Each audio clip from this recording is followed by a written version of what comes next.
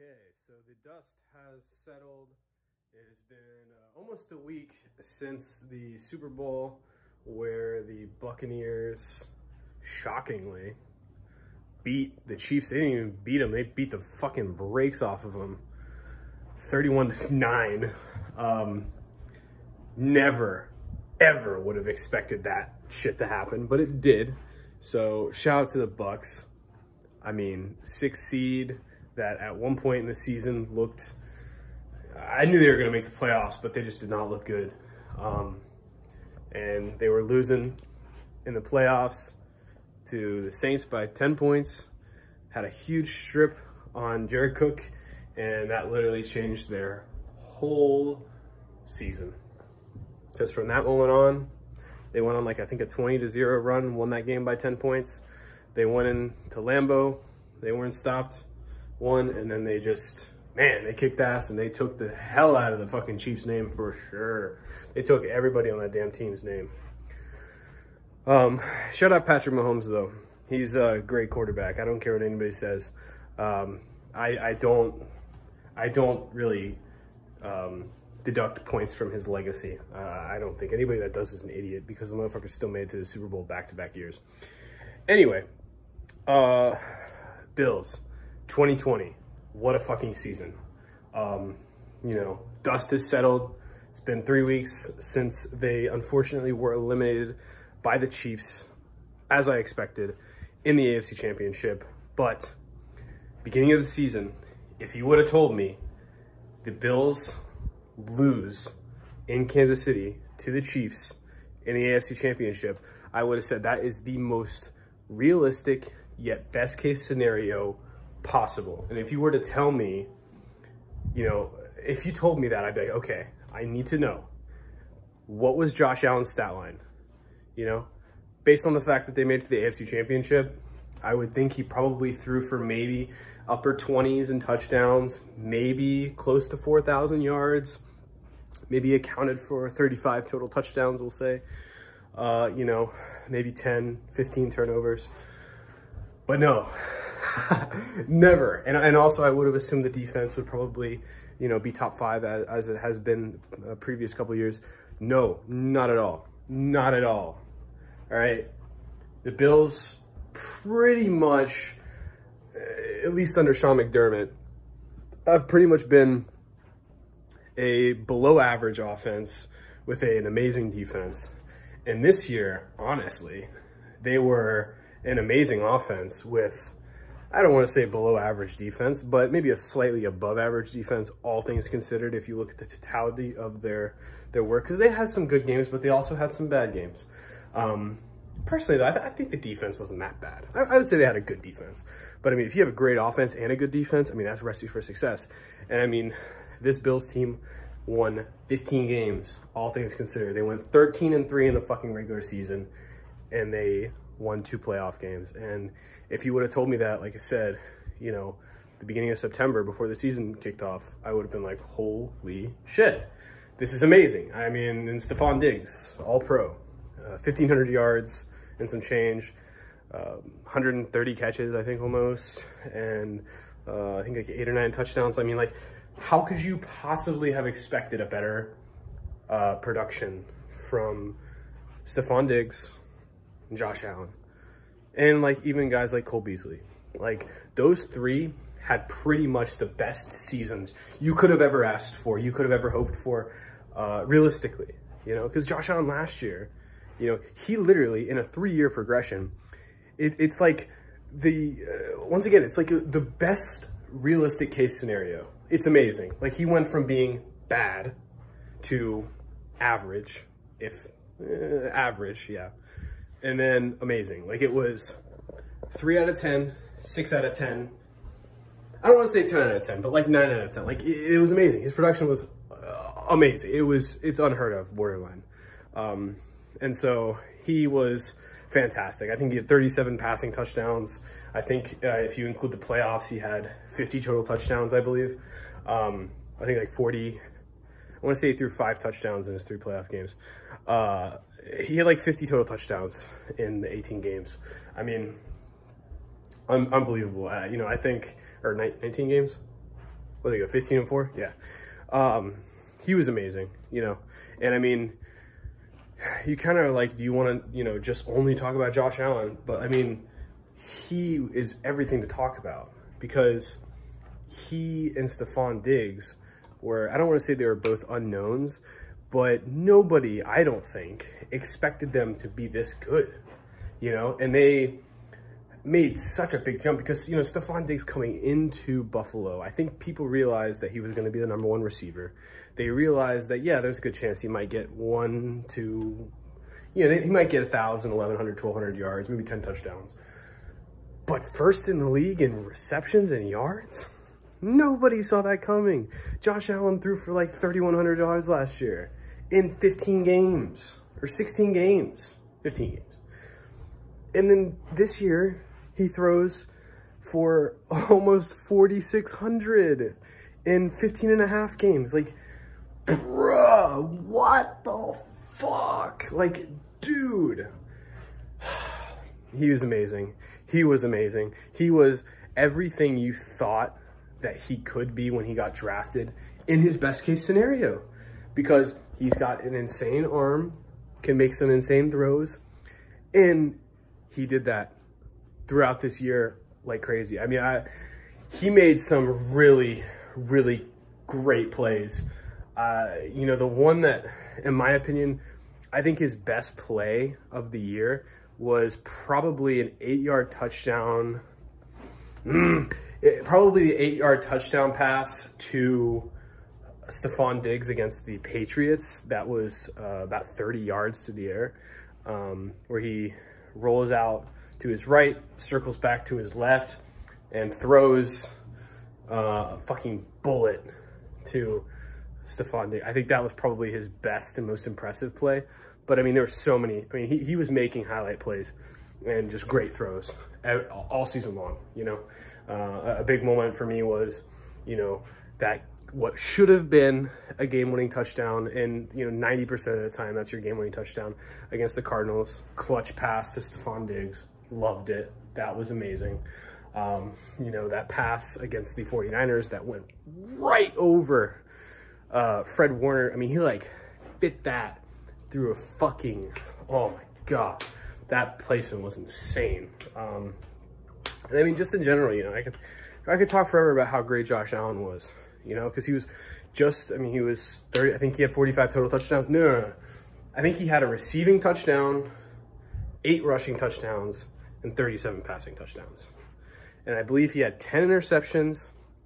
I think he had 15 total. I don't want to say he fumbled it five or six times, um, which I mean, you know, 16 turnovers from your quarterback. I'm not mad at that. I mean, it sounds like a lot, but, you know, fumbles, unless you're Daniel Jones, I don't really I don't really burden quarterbacks too hard with that, you know. Um, but yeah, Josh Allen was fantastic. Stefon Diggs was fantastic. They exceeded everybody's expectations. And going forward, I think, I don't know how you can't expect them to continue to play. Maybe not at that level, you know, because people were like, you know, when Patrick Mahomes had his first year when he bust out with 50 touchdowns and 5,000 yards, people were saying, oh, he's only going to get better. And I'm of the belief that, you know, Patrick Mahomes probably will not throw more than 50 touchdowns again in his career.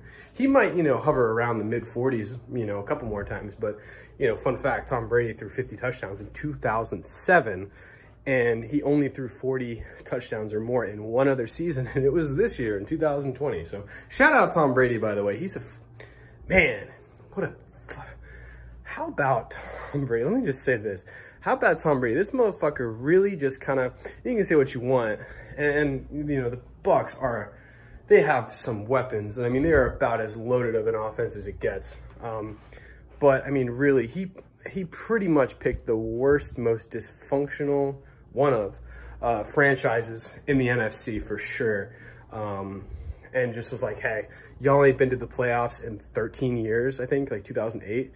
Uh, I'm just, not only am I going to take you to the playoffs. But, you know, the Packers, Saints, these, you know, titans of the NFC who have been, you know, Super Bowl contenders for pretty much the entire decade of the past and have only been to one Super Bowl combined. I think the Packers went in like 2010. No, no, no, no, no. Fuck that, all right? we're like dead last in win percentage in the NFC, but we still have a Super Bowl. So Packers, Saints, suck it. That made me laugh. Like really, like the Bucks just came out of nowhere. Three years ago, if you would have told me the Bucks would have been Super Bowl champions before the Saints were, like let's say going into the like, it's crazy.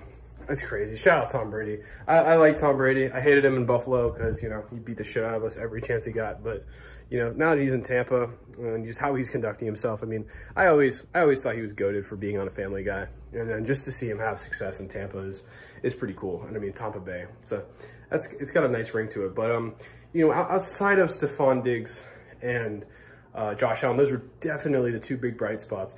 Um, you know, Cole Beasley was fantastic as well. Um, you know, like I said, I don't understand how you could possibly expect more from him. Uh, he was second team All Pro, pretty much the best slot receiver in the league.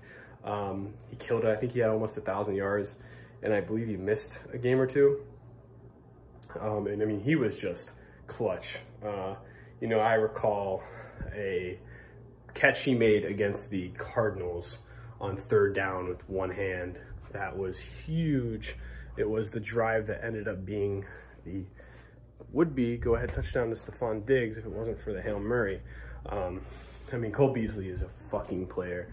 He looks like prime Julian Edelman, Wes Welker to me. I'm just, I'm just being honest. But um, you know, outside of Josh Allen and, and those two stud receivers, you know, you had Gabe Davis, who, um, you know, as a rookie, being that he was pretty much the fourth option at receiver um, for a decent amount of the year, I thought he, as a fourth round pick, performed about as well as you could have expected.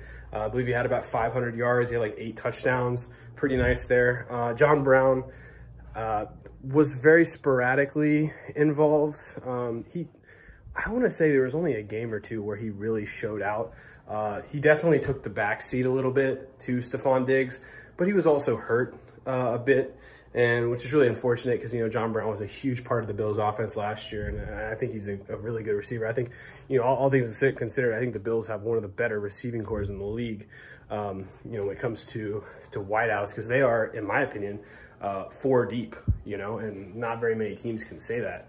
Um, but you know, outside of oof, outside of those guys, you know, your production from the tight ends were was kind of spotty, unfortunately. I mean I think this tight end collective caught like 15 touchdowns, which is kind of a lot. But I mean, you know, Tyler Kroft was in and out of the lineup. I think he was injured, but also was a healthy scratch. Um, you know, he has some decent numbers. I mean, he caught a nice game-winning touchdown against the Rams, but you know, he wasn't anything to write home about. Never really was a fan of him before they signed him, and then you know, the two years after doesn't really. He's not left much of a taste in my mouth. Uh, Dawson Knox, he was streaky last year, but I mean, the way he was playing, you you had a you know, you had legitimate reason to think this kid could be you know a freak of a tight end because he's capable. I mean, he's just as athletic as a Kelce or a Kittle, but um, you know, he was he was inconsistent. But in my opinion, I don't think he had as much splash plays as he had last year. Um, he had a lot of boneheaded drops. I mean, he did have a few touchdowns here and there, but the tight ends were definitely something that the Bills struggled with. Um, and then you had the running game, which was more or less the same. Uh, you know, Devin Singletary last year was a nice little running back. Kind of reminded me of like an Aaron Jones type, um, you know, uh, a guy that, you know, he didn't rush for 12, 1300 yards, whatever but you know he had uh, really good yards per carry. He was reliable in the pass game. He could make you miss. I mean, he wasn't gonna truck three or run by you, but I mean, he was a, still a really nice, fun rookie that could do a, a lot of things, especially in open field. But this year, it was like he took two steps forward and like a step and a half back. You know, he didn't really he, in my opinion, he was slightly less effective than he was last year. Uh, Zach Moss as well, the rookie, he had his moments, um, but he wasn't very great either. I mean, he was okay, you know. For as many nice plays as he had, he had a lot of, you know, hmm, we get 15 rushes for 30 yards, you know. I mean, I don't know if the Bills had a single 100 yard. Actually, I believe the I think Devin Singletary went over 100 against the Broncos when he had that 50 yard touchdown at the end of the game. Uh, but I don't. Other than that, though, I mean, I, I, think there was the game against the Chargers. I know the Bills ran the ball a lot, and I believe against the Patriots. But I think outside of those two games, they really did not run the ball very much at all. Like, I don't think. I think in those two games they had close to 200 yards rushing in each. But otherwise, I mean, they they could they had they had a, a lot of trouble running the ball, but they didn't really need to because they were so pass heavy. Um, you know, against who was it? The Colts maybe in the wild card round. Uh, they didn't run the ball, but maybe once or twice, and one of them uh, in the first half, and one of them was a Josh Allen design run. Like crazy.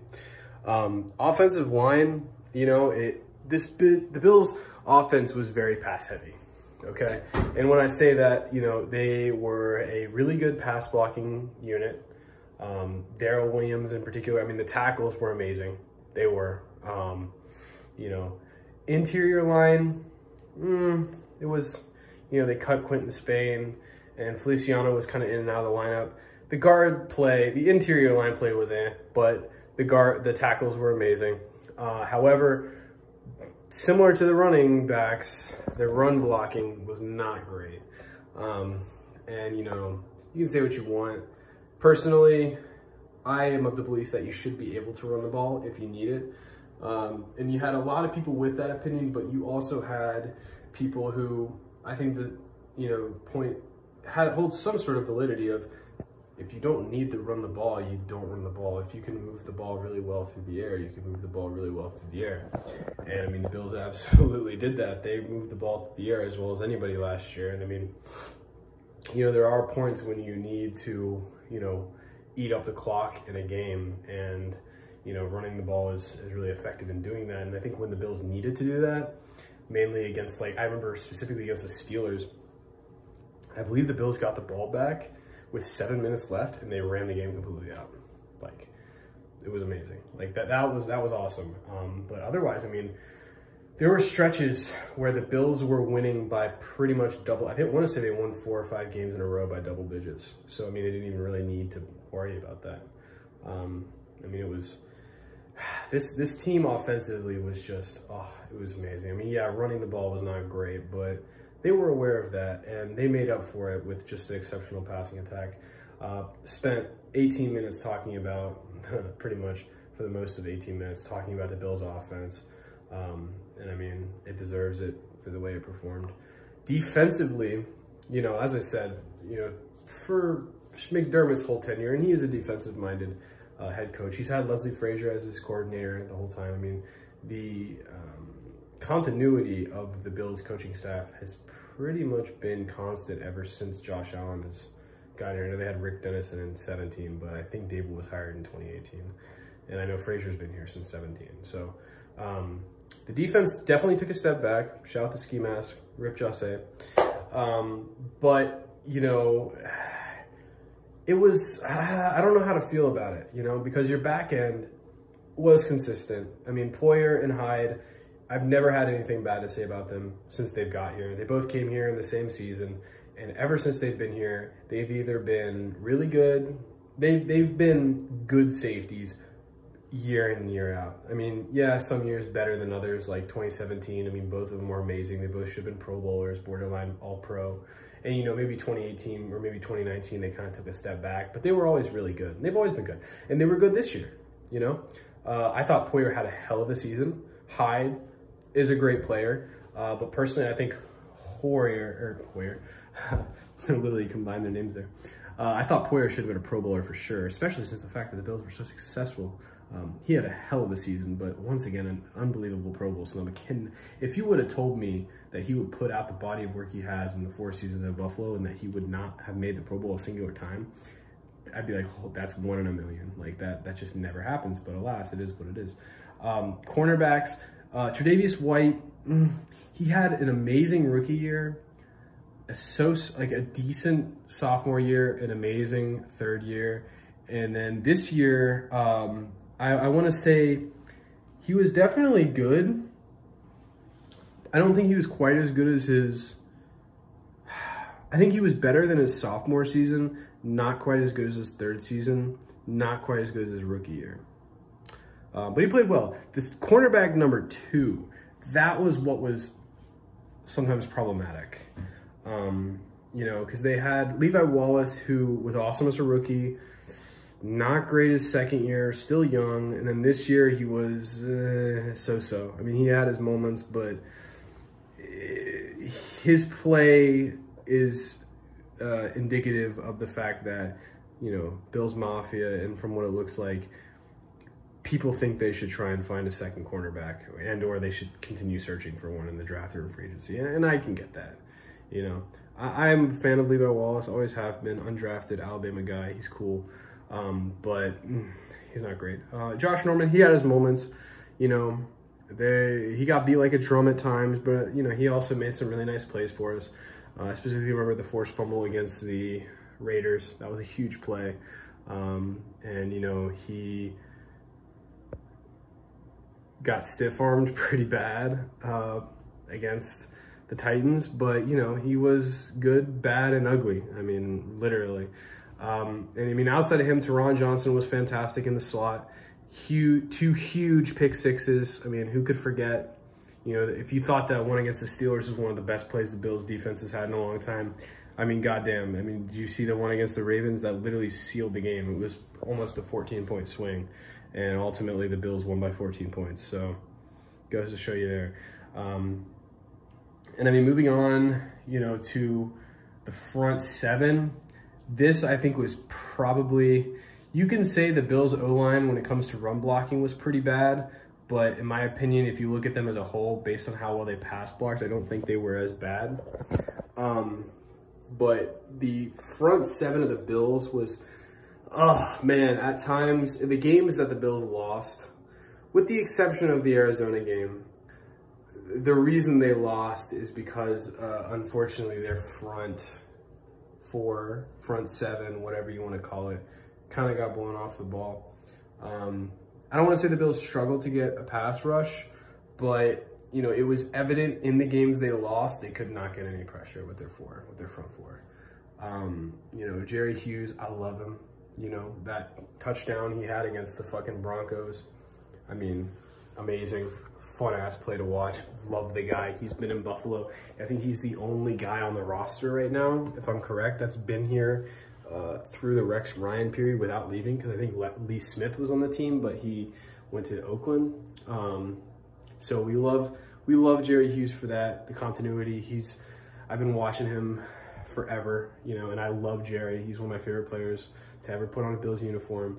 But I mean, as good as I think his swim move is and I do see him cause a lot of pressures. Mm, he's not the dominant edge rusher that we need and that you need in this league. Uh, you know, Mario Addison, not a big fan of him. Uh, Ed Oliver wasn't really hitting it this year. Didn't have the the sophomore leap we were expecting. Uh, you know, and Harrison Phillips, uh, whatever. Uh, Trent Murphy, no show. AJ Epenesa didn't play very much. So I mean, and you have Star, who was uh, out due to COVID. Um, and I mean, I, I actually kind of did like the play of Vernon Butler, to be honest. Uh, and then also uh, Jefferson from Seattle. Those guys actually, and I figured they were going to be rotational players, and they were. I thought those guys were some of the best players on the line, to be honest. I mean, I thought they contributed nicely based on the fact that you didn't really expect them to get much playing time. But, I mean, the front of the Bills was really not it was pretty bad. Like the front four was not was not great. Uh, and then the linebackers, I love them on paper. You know, I think Matt Milano is a great player. Tremaine Edmunds is a freak, but mm, man, they they were kind of wishy-washy. I thought Matt Milano had a nice season. I thought he played at least decent throughout the whole year, and I mean he had his moments where he was fantastic. Uh, Tremaine Edmunds, though, man, you want to talk about hot and cold. Um, oof, there are times where you're like, this is it. You know, by next, the end of next season, they're going to consider him, you know, Bobby Wagner, fucking Fred Warner, and Tremaine Edmunds, and Lavonte David. Like, the, you, you're going to be up there in the names of the, the big name fucking linebackers. Ugh, but there were times where you're like, ooh, man, this guy needs work. he's really young. He is. He's like 22 maybe or 23. But in my opinion, I don't know. I think football age is different than like your actual age. Like, yeah, he might be 22 or 23, but his body has been put through the test. I don't know. I can you put stock in that? I don't know because there's people that are drafted the same year as him that are like 25, 26. But anyway, um, Trinidad Edmunds. I don't know how to feel about him. I love him personally. I think he is like the things you can do that he can do because of the way he's built, the way he can run, and the way he can fucking just tower over and just be a force at six foot five. That in, in itself is incredibly valuable. But man, he was kind of sporadic this year. Uh, and AJ Klein, never have I been so upset at somebody, but you know, simultane almost simultaneously been like, this guy is awesome. Cause man, he played like shit and then he fucking turned it like that Seattle game. Whew, he turned it up. He had an insane game. He was amazing in that game. Uh, and I mean, honestly, I thought AJ Klein, all things considered, he played well, man. Like, yeah, he was, he was cold, but then he was hot. And I mean, I fuck with AJ Klein. I, I really do. Um, and I mean, the Bills defense, it was, it was decent. All right. All things considered, granted, it was great the year before and the year before that. Uh, it definitely took a step back. Shout out. Um, but it was still decent. I mean, uh, ultimately, when you have a really good offense and a good defense, that's a recipe for success. That's a recipe for 11, 12, 13 wins. And ultimately, what do you know? They won 13 games.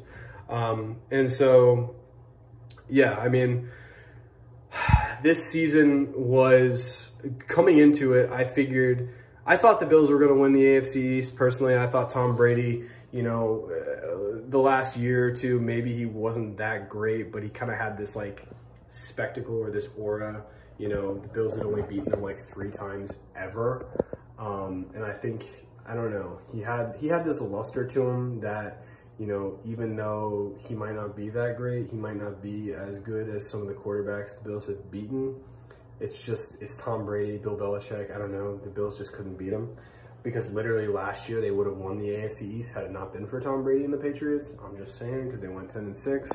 Should have won 11 and 5, but you know, through the game against the Jets. I mean, if they would have won one of those games against the Patriots, I think they would have won the AFC East. Um, but I mean, he was gone. The Jets were scrappy, but I mean, not consistent enough in my opinion to pose a threat. And the Jets were terrible. So, I mean, you know, I, I figured the the Bills would win the AFC East, maybe win 10 games. 13 games? Are you kidding me with this schedule? I mean, like, damn, you know, the Bills, they had to play the AFC West and the NFC West. People were talking about the NFC West having four playoff teams.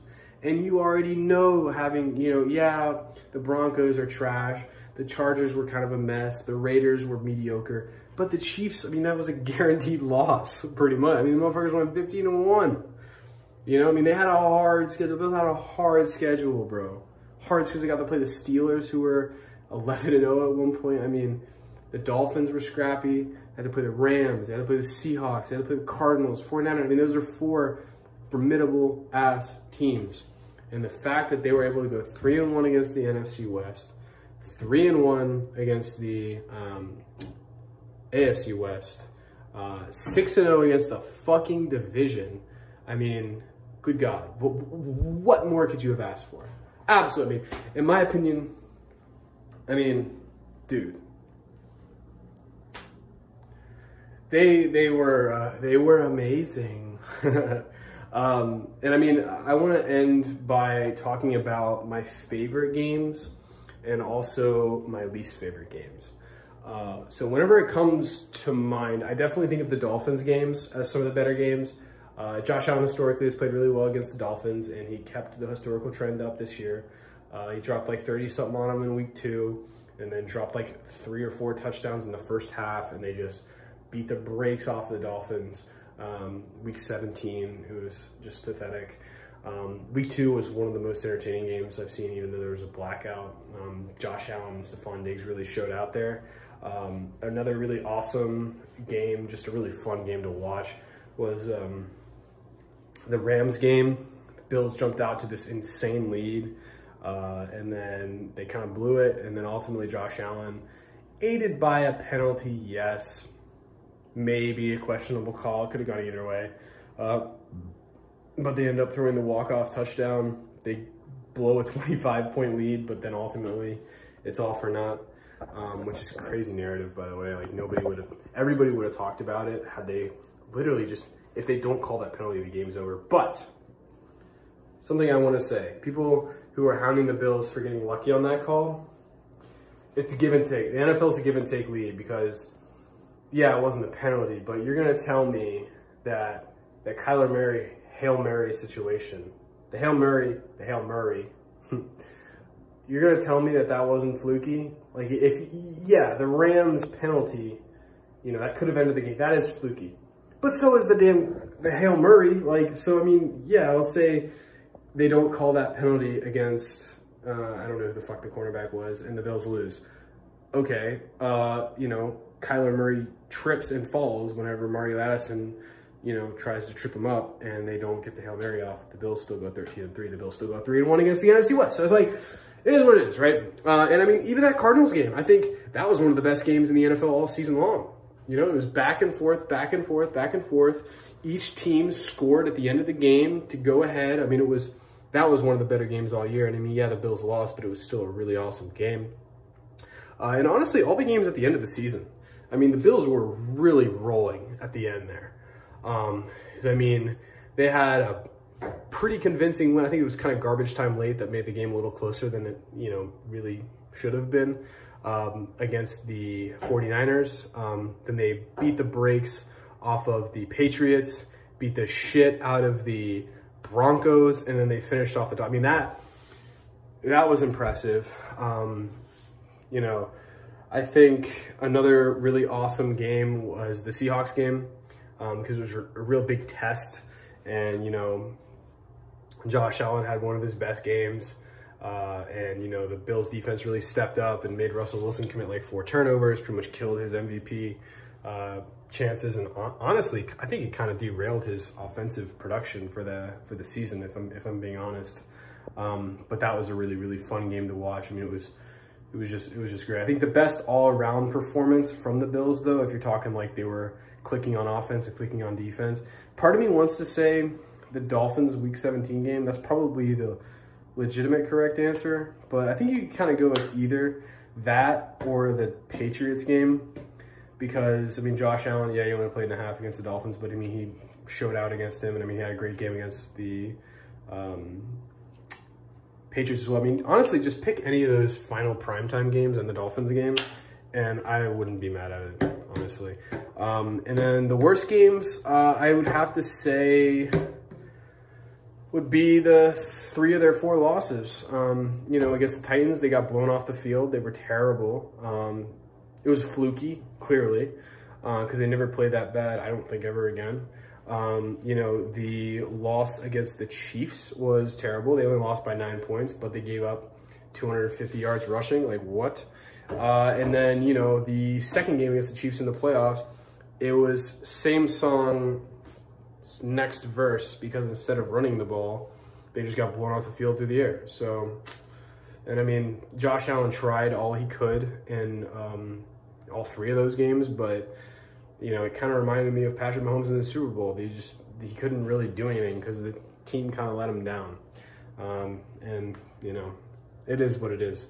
But, you know, ultimately, the way I see it, Josh Allen showed an insane amount of growth he won two playoff games, and in my opinion, I think as a quarterback to assert your dominance and to really make your mark and put your stamp on uh, you know your resume. I think playoff wins are a huge indicator of that.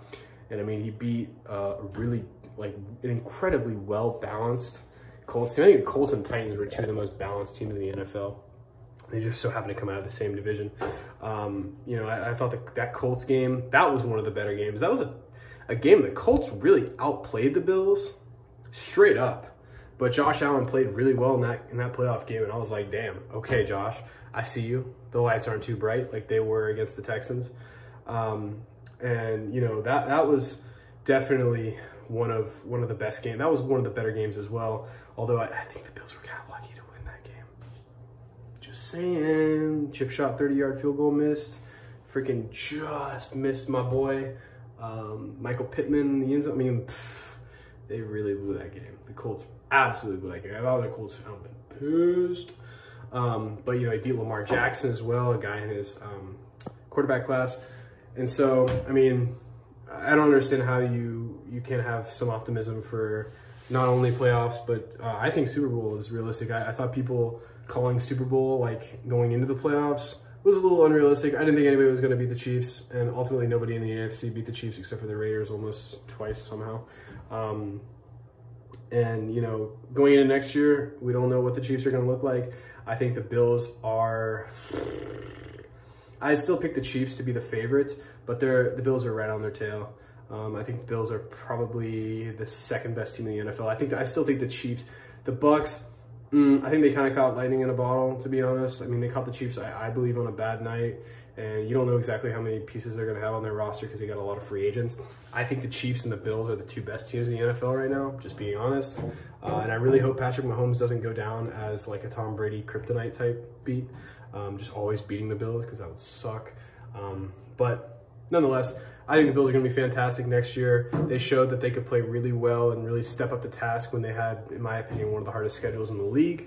Um, and, you know, uh, next year, nothing's guaranteed. There's no, you know, uh, there's no for sure bet um, written in stone that the Bills will win the AFC East this year, next year, whatever. Um, you know, they could win the AFC East and then get bounced in the first round of the playoffs. Shit happens. I mean, like I said, they probably should have lost against the Colts and Philip Rivers, but they didn't. And I mean, it is what it is. They ended up beating the, the Ravens handily. So, I mean, they definitely deserve to be there in the AFC Championship game. But yeah, uh, really looking forward to the draft. Um, personally, I think the Bills should probably look at. I don't know if they need a running back, but it, it, might not hurt. I think they just need a better running scheme some better run blocking, honestly. I think the running backs they have are kind of fine.